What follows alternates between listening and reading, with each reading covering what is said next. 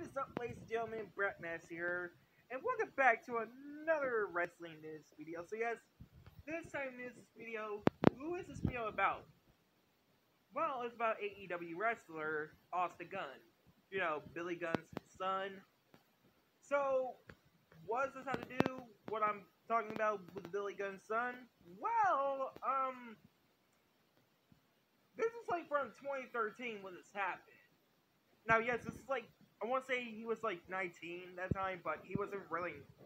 Well, okay, yeah, he was born in 1994, but the problem is with that, he got called out for exposing. Well, all that matters, he was just exposed for or saying the N word on Twitter. Now, Oh, did he do something about it? Well, yes, he did. He owed everybody on Twitter an apology for using that word in from those tweets from eight years ago. So yeah, guys, what's your guys' thoughts about this crazy thing about Austin Gunn?